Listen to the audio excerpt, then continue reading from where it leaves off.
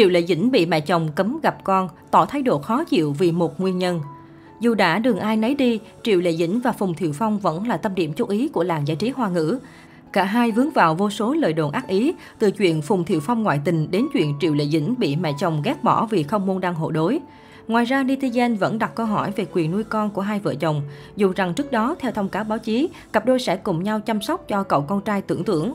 Vậy nhưng blogger Thạo Tinh trong giới lại cho rằng giữa Triệu đệ Dĩnh và Phùng Thiệu Phong đang có cuộc chiến căng thẳng giành quyền nuôi quý tử. Trang 163 mới đây đã có một bài viết gây xôn xao khi cho biết mẹ của Phùng Thiệu Phong nhất quyết không cho nữ diễn viên họ Triệu gặp con trai mình. Nguồn tin bắt đầu từ một blogger chuyên đưa tin ẩn danh. Tiểu Hoa Đáng sở hữu gương mặt tròn trịa muốn đưa con trai đi. Tuy nhiên mẹ của Pha Xuân phen lại không đồng ý, lo lắng rằng cháu nội của mình sẽ chịu nhiều khổ sở, sợ con dâu cũ không biết cách chăm trẻ. Những miêu tả cùng nickname Fashion Fan giống với Phèo San Fan, tên phiên âm tiếng Trung của Phùng Thiệu Phong. Thông tin này ngay lập tức dấy lên tranh cãi ầm ĩ trên mạng xã hội. Lại một lần nữa, netizen phải đặt ra câu hỏi về mối quan hệ mẹ chồng nàng dâu nhà họ Phùng. Đây không phải là lần đầu tiên Triệu Lệ Dĩnh vướng tin đồn như thế này, bởi trước đó rất nhiều trang báo từng đưa tin mẹ của Phùng Thiệu Phong bất mãn vì gia cảnh tính cách của con dâu. Sau khi ly hôn, có thông tin cho hay mẹ của tài tử họ Phùng vội vã ép con trai đi xem mặt người mới, yêu cầu vợ mới của Phùng Thiệu Phong phải là người không thuộc làng giải trí. Trước tin đồn này, Triệu Lệ Dĩnh giữ vững quan điểm không đưa ra bất cứ phản hồi nào. Người đẹp dồn thời gian và công sức cho sự nghiệp hiện tại. Tuy nhiên vẫn có lời đồn cho rằng vì thất bại trong việc đi xem mặt người mới, Phùng Thiệu Phong hối hận có ý định cầu xin Triệu Lệ Dĩnh hãy quay trở về bên anh. Cách đây ít ngày, trang Nexters cũng đăng tải thông tin Triệu Lệ Dĩnh mất quyền nuôi con do gia đình Phùng Thiệu Phong chèn ép. Trong những thông tin được đăng tải, Phùng Thiệu Phong đã ép bà xã phải bỏ quyền nuôi con khi cả hai đang trong thời gian hòa giải.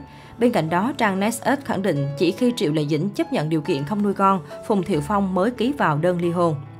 Trang Quy Quy thì đưa tin ban đầu Triệu Lệ Dĩnh muốn chia sẻ quyền nuôi con với chồng cũ. Tuy nhiên vì mẹ của Phùng Thiệu Phong liên tiếp nói xấu con dâu cũ trước mặt cậu con trai quý tử. Không chỉ vậy, mỗi lần đến thăm con, sao nữ này luôn bị mẹ chồng gây khó dễ, tìm 1001 cách để không cho cô lại gần con trai. Đây là lý do mỹ nhân họ Triệu chính thức tham gia cuộc chiến giành lại quyền nuôi con từ tay Phùng Thiệu Phong và nhà chồng cũ.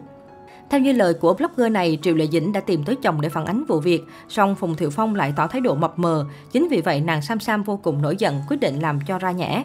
Cô quyết định tìm cơ hội để bế con đi, tính đến kế hoạch giành quyền nuôi con. Vì việc này, chồng cũ của Triệu Lệ Dĩnh đã bỏ tiền ra mua các bài viết nhằm bôi nhọ cô, cho rằng Triệu Lệ Dĩnh làm vậy để được liên tục lên top tìm kiếm Weibo tạo đề tài hot. Tuy nhiên, Triệu Lệ Dĩnh cũng không chịu nhẫn nhịn vì lùm xùm này. Blogger tiết lộ, nữ diễn viên đã tìm luật sư để giải quyết vụ việc. Nếu như có bất cứ vấn đề nào phát sinh, phía Phùng Thiệu Phong sẽ ngay lập tức nhận được thư từ phía luật sư. Trước đó, Triệu Lệ Dĩnh được bắt gặp trở về Thượng Hải. Vì đây là lịch trình cá nhân nên netizen đặt câu hỏi, phải chăng Triệu Lệ Dĩnh về đây là để tranh chấp quyền nuôi con? Không chỉ vậy, nhiều blogger cho hay Triệu Lệ Dĩnh khi nhận phim đã có thêm yêu cầu mới, cô muốn con trai và bảo mẫu của mình được phép tới phim trường.